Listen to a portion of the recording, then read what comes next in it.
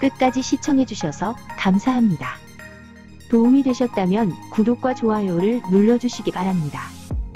다음 회차의 희망찬 모습으로 다시 만나길 바랍니다.